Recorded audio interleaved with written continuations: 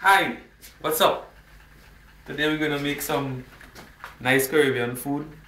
We have here some grated sweet potato with some rye plantain. It's all peeled. To that we add in some chopped some chopped garlic and a bit of ginger. This is going to be our spiced sweet potato and plantain fritter. Gonna have this along with some um, some nice stewed saltfish with green bananas.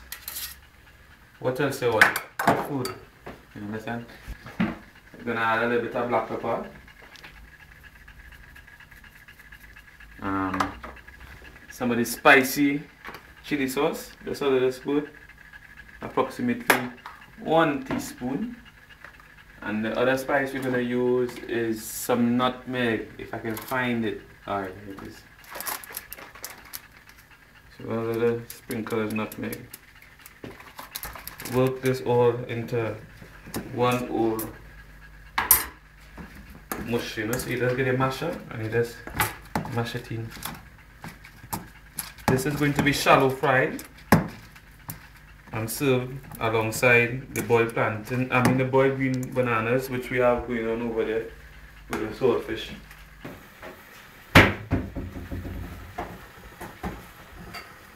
So all to come together now. We're gonna do the fritters a little later on. See? See the consistency?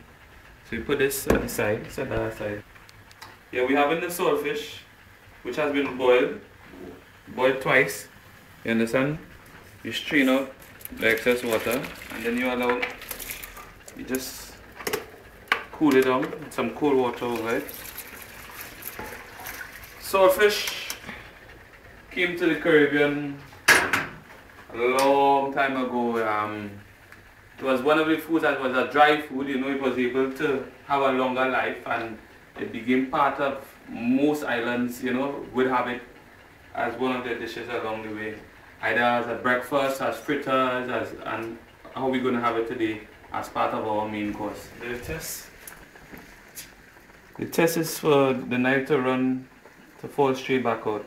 Still have it holding, but these ones are on top. Let me check. And they normally split the skin. They're almost there.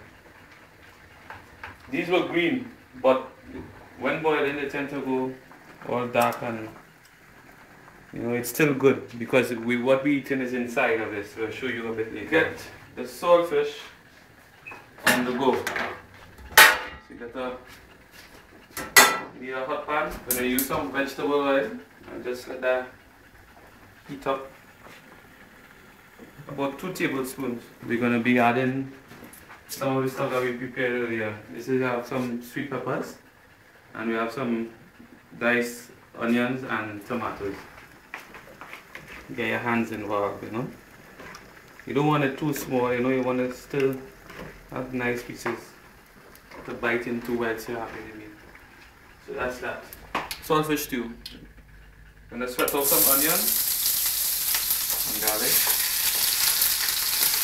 Tomatoes. Okay, back some of the tomatoes for a little later on.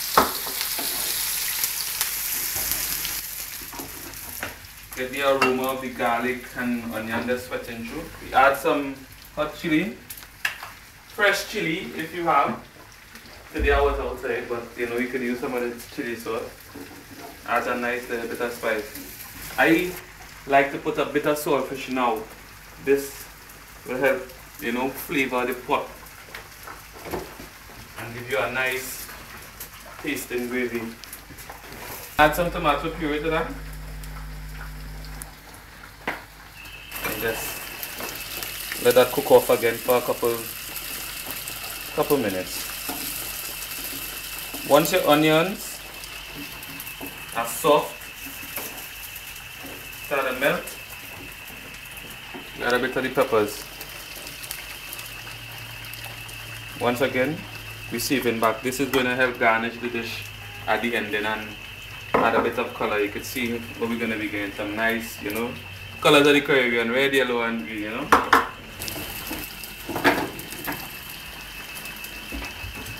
The black pepper. At this point here, we're gonna add the rest of the saltfish.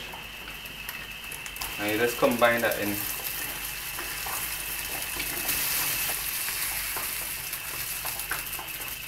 Here we're gonna add some fresh thyme and then a bit of water and then we bring that to the boil to get our gravy. Tell us how you started to become interested in cooking. Well, the family always cooked and we have a big family. Um, mommy was always in the kitchen cooking up a storm with uh, you know money saving dishes. Um, my sister was into food and it just you know dad would be in the kitchen. It was just something that I would see going on and um, at first I wasn't interested but you know going along the way and just looking and learning I you know I started to get involved in the kitchen myself as it is. Add a little black pepper to that. A little squeeze of lime. This brings out a nice freshness in the dish. And there we have our saltfish stew. Gonna get the pan on, cook off our sweet potato and plantain fritters. Just gonna be shallow fry, so we just need the oil to coat the bottom. In the meantime, while the oil is heating, I will show you what you do with the green bananas. they literally, once they cook, they literally fall out of the skin. You understand? You just scrape it clean. See, they literally just fall out the skin. You scrape off.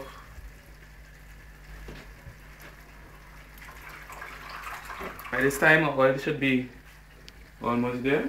We're gonna just have us a few kernels of butter.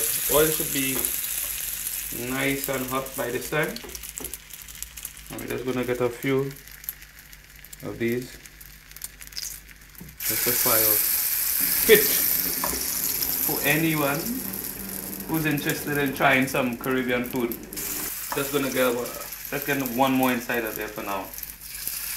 In the Caribbean we tend to have a lot of um, ground provisions and and like bananas, green bananas, plantain in a different variety. Today we serving the green bananas boiled and we having our sweet potato and plantain in a different form. Normally sweet potatoes are fried, eh, fried or boiled on its own but today we're going to have a combination which I call my spiced sweet potato and plantain fritters. You want to get a nice color on the outside so you do you want to just ensure that the oil is not too hot you know once they're nice and brown you can have a look see this nice golden color we're gonna be getting just turn them over and you're allowed to fry start to get my service plate ready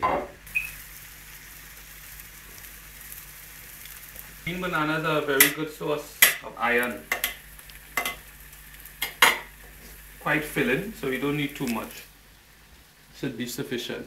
Like Slightly just drain the excess oil, like like little party snacks, you know, with a nice little sweet chili dip or something. Would be a very nice accompaniment to any any meal. So it's all coming together now. Did you do any cooking in school as a boy or?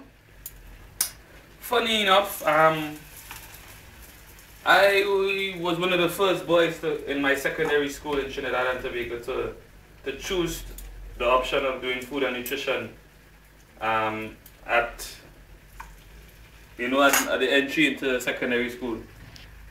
At first it was looked upon, you know, a, a, lot of the other guys who were doing the woodwork class, they were like, why are you going to be doing that? But I had my interest and I saw the opportunity where I would be able to learn more.